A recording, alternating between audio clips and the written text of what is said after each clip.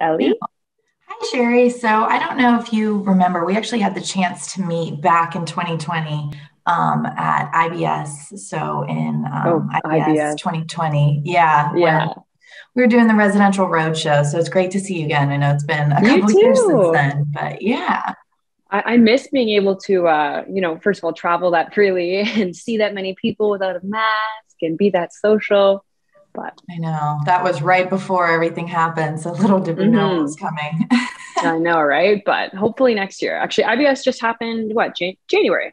last month. Yeah, so we were able to see um, Mike. So he came by the booth again, um, and we were able to get a quick video for the ECCN program, which is okay. I guess oh. backwards. More specifically, it's reversed. I know. I do that all the time. I feel that. So, how are you? I'm good. So, um, it's been, you know, I live a fully remote life now. Um, so, I've been trying to mm-hmm. work up my uh, at home office here, but it's been good. Um, and actually, you know, perfect timing with this event. Um, I know we've got, you know, Ramaj has been speaking about women in construction coming up in March. It's actually been in my personal development goals to get more involved with the initiatives that we've got on Eaton's end of things, um, just helping to promote and advocate for women in the workplace. So this actually, you know, aligned at the perfect time for some of the goals and initiatives that we had on our end. And I know um, all of the efforts you guys put up on your end as well to, to promote women in the workplace and specifically for you in the trades.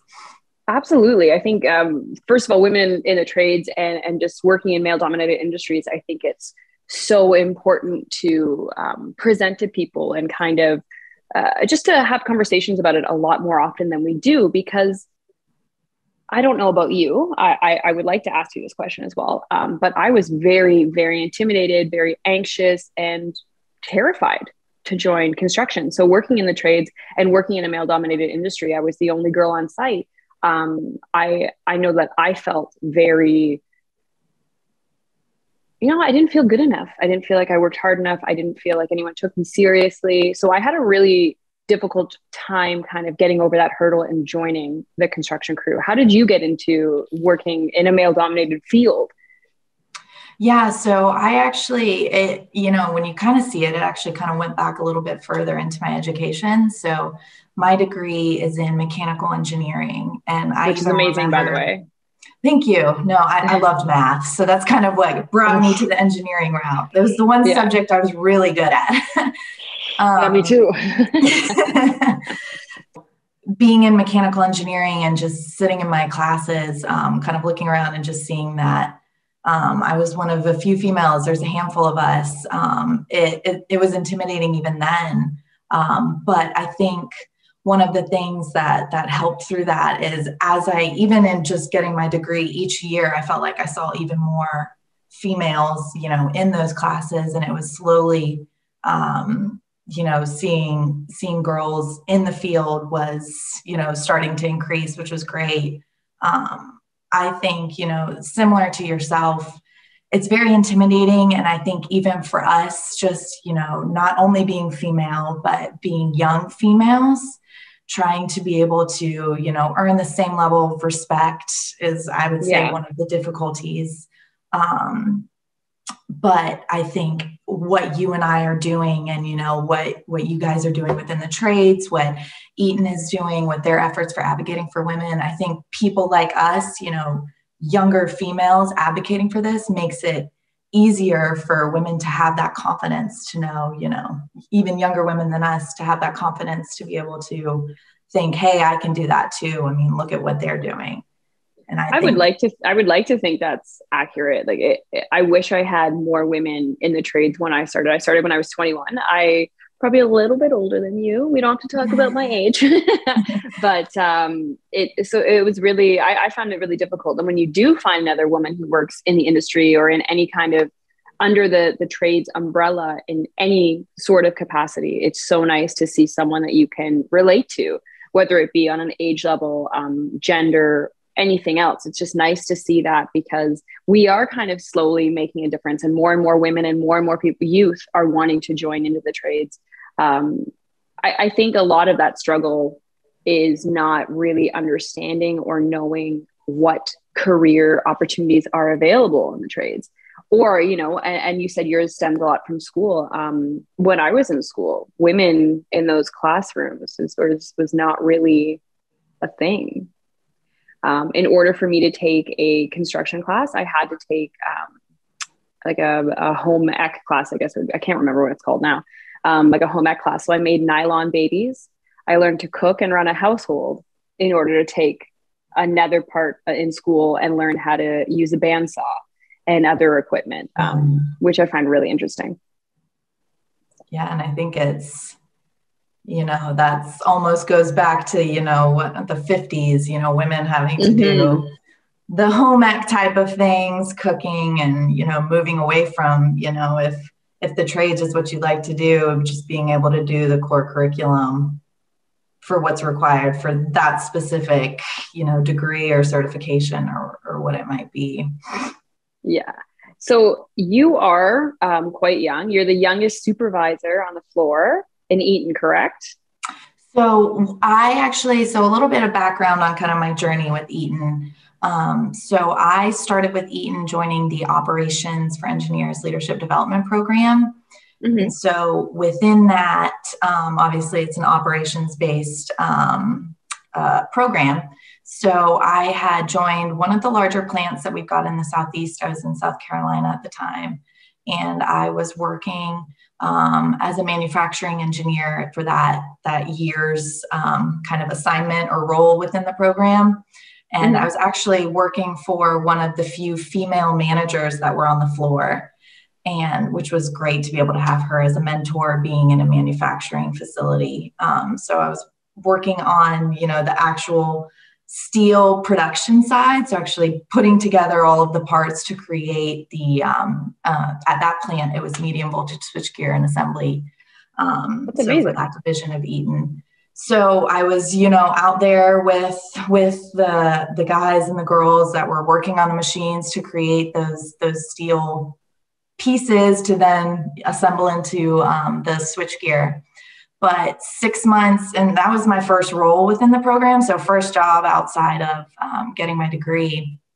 And so, six months into that, an opportunity presented itself for me to actually take on becoming the supervisor in one of the warehouse areas of that plant. So, um, which was incredible. I mean, six months in, that was a great. Yeah, good for um, you. I was I was honored to be able to get that responsibility.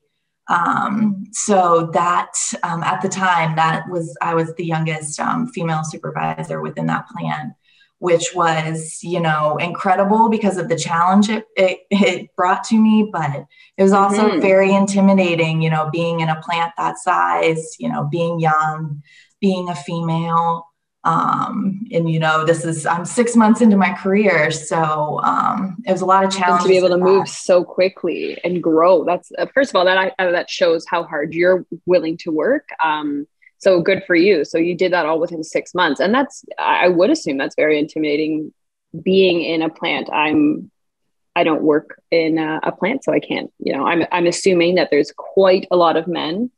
Um, the male to female ratio is probably a little tilted toward toward one gender for sure. Yeah, absolutely. No, it was, and I think that's you know kind of what you spoke to earlier, kind of you know um, being able to gain the respect and just the intimidation that you feel. Yeah, I feel like that was definitely one of my roles. Um, I'm now on the commercial side, so I'm no longer in that role. Um, but it was definitely one of those roles where I feel like I was you know challenged the most into um, you know proving my worth um, and you know being able to show hey i'm young and i'm a female but i can do my job you know just as great as any other candidate as well um, i love that attitude yeah i mean when you're in that environment you, you know you just want to succeed and it yeah. ended up being a really great opportunity and um, you know, that would be one of the things I felt like I had a really good mentor at the time and my manager. Um, so that would be, you know, one thing that I would recommend to anybody in, you know, manufacturing or in the trades or just anywhere where you feel um, like you're you're the minority in that field um, or it's male dominated. You know surrounding yourself by by someone who's going to help support you and advocate for you is really important. Mm-hmm. absolutely to have that that mentor or someone to even talk to because it is i think it's a lot of pressure uh, working in a male dominated industry or working um, in any of these kinds of fields. Um, you need someone who kind of understands or someone who wants to motivate you. Someone just like i said to even just talk to. Uh, did you find there was a lot of did you struggle with any of that uh, I'm trying to find the appropriate way to say a lot of this. Um, with the men uh, uh, in the plant, did you find it was a bit of a struggle? Did people want to listen to you? Yeah, and I felt like that was almost um, like a twofold because I didn't start out in that role of authority. So at that point, you know, I, you know, was working with these people as more of, you know, I'm your friend, I'm your peer and then i had to go into being that level of authority whereas before you know they, they didn't have to, to follow not my orders but follow my direction um, for what we needed to get done in the area that i was supervising. So i felt like that was definitely a struggle. Not only was i young and a female i also didn't start with that level mm-hmm. of authority um, as my role title um, so I definitely thought it was difficult. You know, I felt like I had to do um, not some soul searching, but, you know, I had to figure out, you know, I had to understand the people that I was working with, um, understand, you know, how to best communicate with them. Not everybody is the same. Um, and I think it takes a lot, you know, on my end as well to make sure that, um, you know, I'm addressing issues or anything like that in a timely manner. I'm being fair to everybody, no matter age, gender, or whatnot. Um, and I think that, you know, learning those things definitely came from the help of, you know, my manager at the time. And honestly, having the support of, I think a big piece is also getting the support of your male peers. So when you're in that mm-hmm. point of authority, you know, I need to have them have my back when it comes to you know me you know making sure that the employees in the area are getting whatever it is that needs to be done. So i think having the allies you know on that other side of the fence you know our male counterparts that's that's a big piece as well making sure that they're supporting us and advocating for us. Absolutely. I also um, that's something i want to address as well. I find it's as much as there are struggles on site for me personally, um, being a female and what I've gone through, I think there's people don't always address how wonderful the men on site can be and how supportive they can be. Um, I work with some great, amazing people. I remember when I started out, um, I was 21 years old on a construction site. I have only ever touched construction with my dad for fun. So we'd build little things at his house or I'd help him with renovations. And to me it was kind of fun. So i didn't really understand a lot of things that i had to to do and and figure out. Um, i remember on on the job site my brother had to teach me how to read a measuring tape. So i do not excel in math. Numbers are not my thing which um, that i don't think i don't think it's a terrible thing. I tell everyone i suck at math. I'm not great at numbers but it just means i have to work that much harder to um, understand a lot of those things. And i don't mind that because every day you should be working to better yourself. Um, so he taught me on a job site how to read a measuring tape. We were like hiding because I didn't want anyone to know that I didn't know how, which I don't think now looking back at it, um, it's not, you should be able to ask for help. You should be able to tell someone that you don't know how to do it and, and be open to learning. Um, but I found it to be a very, very big struggle um, because I was surrounded by men. And I thought that they would think I'm a lesser person, that I didn't take my job seriously, that I was just a frilly girl on site. Um, and I ended up loving everyone I work with. They were all so great. They would walk me through everything.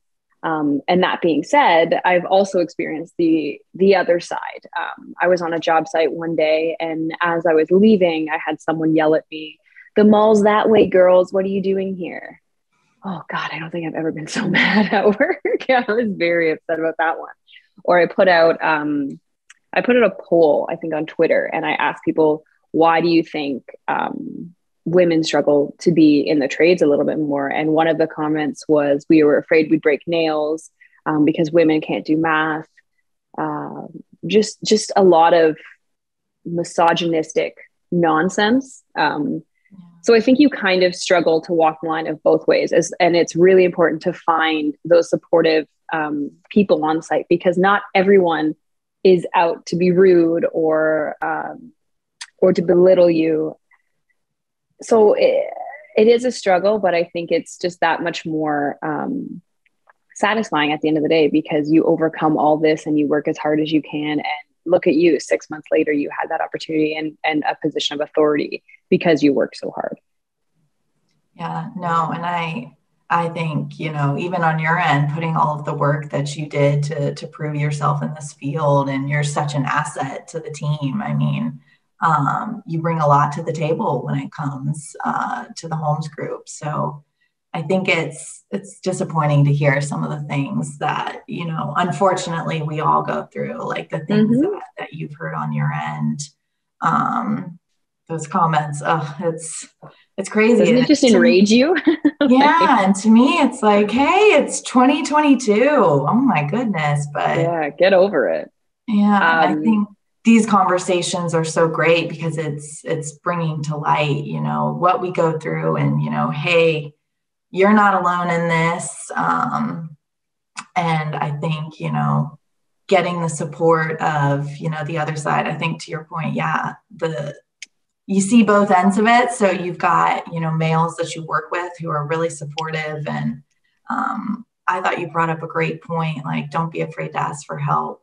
Um, I think one of my things that um, I'll speak to, I help with the recruiting. I'm based in Atlanta, Georgia, and I help with the recruiting in Eaton um, and one of my things that I always tell people, um, don't be afraid to ask questions. Um, and I think, yeah. especially being young, um, I'm surrounded by some people who have been in this industry for 10, 15, 20 years. I'm not going to know everything that they know. It's just impossible. Mm-hmm. So, to not be afraid to ask that question. I mean, I um, when I switched from the manufacturing side from the plant and I went to a role um, on the commercial front end for Eaton, um, I was up at our electrical sector headquarters in Pittsburgh, and um, I had a lot of great, you know, male counterparts on the team. I was working for a residential product line, and anytime I had a question, you know, they they were so eager to help me out because my success in the end is the team's success, and I think yeah. that's that's the big part to understand is you know we all succeed together we all struggle together. So let's let's help build that success and that confidence you know across the board. Do you find that um, there's anything in particular it, with your career that you've had to kind of struggle through? Like for me on a construction site um, one thing that i found really difficult is safety wear so I had, when I first started, I had to get a custom harness because, first of all, nothing was small enough. Everything was for a larger man. And they're also not there, or they weren't made for a woman's body type. So your clips are in the wrong area um, and it wouldn't hold you in. I could literally fall out of my harness, or I still struggle with um, gloves and my safety boots. Um, I don't have, I have petite, small feet and I have to contact brands sometimes to see if they can ship me out a boot that'll fit or go to multiple stores or only shop online to try to find a size that I can wear on a construction site. And I wear my boots until they literally fall apart because it's such a struggle sometimes to find what you need. And gloves, um, it is actually unsafe to wear gloves that don't fit because you won't have a grip. You can drop a tool. Um, you could hurt someone or yourself because you just can't hold on to something properly been napping uh, for about t- mm-hmm. just over two hours, so she's bound. And I can't control when she wakes up. Yeah, no that's my struggle in the industry, children. um, I'm I'm sorry, I was uh, I was a little distracted there. Um, can you also tell me a little bit about Wave? I've been dying to ask you about it. Yeah, so WAVE is something that Eaton has done. You know, we've got it on a global level as well as specific chapters to, to countries and even local down to um, local sites and whatnot. But it's women adding value to Eaton. Um, and it was actually one of the reasons because I, I started my journey with Eaton as an intern, um, did an internship. And then um, through that internship, I actually saw all of the things that they were doing on the cultural side to help make it you know a place that i want to work. And i had such a great experience with my peers with my managers. I just felt like it was um, they created an environment to that made my personal journey and my career path seem special and seem that you know what was important to me was important to them. And, and what you're doing matters and is making a difference. Yeah and i thought that was huge. I mean going not everybody gets that you know let alone being yeah. their first first employer um, and I think WAVE is one of the ways that they do it. I mean, they've got lots of different um, inclusion resource groups, um, but WAVE is the one, you know, helping to support women. So women adding value to Eaton. Um, and it's it's one of my personal like I kind of started this call saying that this came around at the perfect time. Um, it's actually one of my development goals to to help myself uh, or to get more involved and help this program by by um, you know doing events. They've got lots of campaigns that they run throughout the year. Um, International Women's Day is coming up, and um, instead of it just being a one day thing, they've got stuff going on all month long. Um, they've got different events. You know, the the theme this year um, is Ally Act Achieve. So um, how they how you can be an ally um, and taking action to help achieve women's equality in the workplace. So helping to remove those discriminations and biases. Um, that's that's amazing. I love Eaton. I love the work you guys are putting towards have women in the industry, women in the trades. I think Wave is an amazing program. Um, I really want to just say that first of all because I think you guys are really pushing women in the industry. You're doing phenomenal, and being able to meet and speak with women like you is so helpful for me to have someone else I can relate to, for someone to talk to. And I hope for youth and women coming into um, their careers and trying to figure out what they want to do. Is there any advice that you would give to um, women who want to change their career or women um, who are thinking about joining into the trades industry?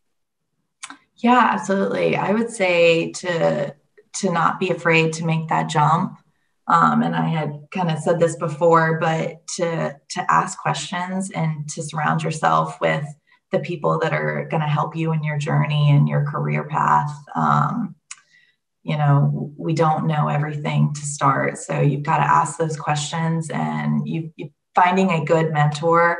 And you're going to have you know mentors come in and out of your career for seasons, but making sure that you've you've always got a person that you can go to that you can relate to who can you know help provide specific guidance you know maybe they've been in your footsteps before maybe they've done that job but you know they can more specifically and directly help you get from point a and point b to, to what you want to do in your career whether it be in the trades whether it be in manufacturing whether it be you know in engineering um, but you put your mind to it, um, you know, you can do, you anything. do anything. Yeah. I love that. And I totally agree. You know, um, like I was saying, asking for help, it's something that I still have a hard time with, but nobody knows everything. There's always going to be someone who knows more than you, has done it longer than you, um, and you can always learn from them. So I think being open to learning new things, to trying new things, because it can be yeah. very scary to go outside of your own little box and try something new, but you'll never know what you can excel at and be great at. Ask those questions, find a mentor. Um, and honestly, I think you're you're doing so wonderful. Eaton's doing so wonderful for women in the trades. Um, and I just want to say thank you. And it's so nice to see you again and get a chance to discuss these things. Yeah. Thank you to you as well. And you know, I I love watching your stuff. I follow you as well as all of the other Holmes things mm-hmm. on all the social media. Um, and I think you know what you're doing and advocating for women in the trades to to show your journey and show that you know this is what they want. Um, you know, they can do it too. I think it's incredible, and I thank you for the opportunity. Yeah, it was so great to to speak with you again and to be able to talk about this. Yeah, I, I think that's great that we can just have a conversation um, regarding this. Yeah, absolutely. And hopefully we'll see each other again soon. Yeah. IBS so. next year. Yeah. 2023. I'll be there. Yeah. Probably with kids in tow, but I will be there. That's great. Yeah. Well, I hope all goes well and I hope your baby is well rested waking up from her nap. I hope so too. thank, thank you so much. I'm going to go grab her now. Um, have a wonderful day, and I'm sure we'll talk soon. Yeah, you as well. Thanks. Bye.